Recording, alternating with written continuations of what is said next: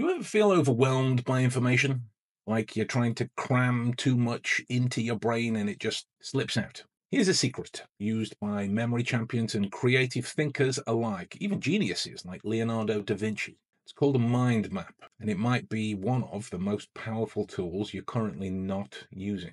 A mind map is a visual way to organize your information. Instead of writing in straight lines like an essay, you start with the central idea in the middle of the page, and from there you branch out with curved lines, each one representing a related thought or, or, or, an idea or a key word. The result? You're literally mimicking the way your brain naturally works through these associations, through connections, through imagery. Here's why mind maps are pure gold. When you think about the areas of the brain and what they are involved in, there are some that are preferential to specific processes or emotional salience or the delivery of logic. With a mind map, it encourages multiple areas from all sides of the creative journey to get involved. This isn't about hemispheric preference. This, the science is iffy in that area at best, but this is about multi lobes getting involved in how you memorize anything. Mind maps are a way to bring them all online. They create hooks for your memory. So instead of trying to memorize isolated data, mind maps give your brain mental um, anchors.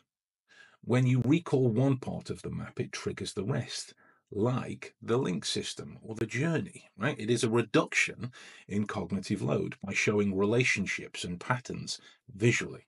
So you start in the center with your main topic or your main theme, whichever it is.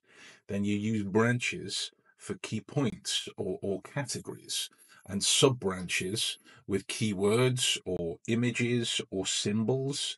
You can have them coded in colors, you can have them coded in imagery. It is a way to differentiate topics and trigger emotional salience in the memory consolidation. You keep it flowing and curved your brain likes natural, nonlinear shapes. But above all, don't overthink it. Mind maps are about clarity and creativity, not perfection.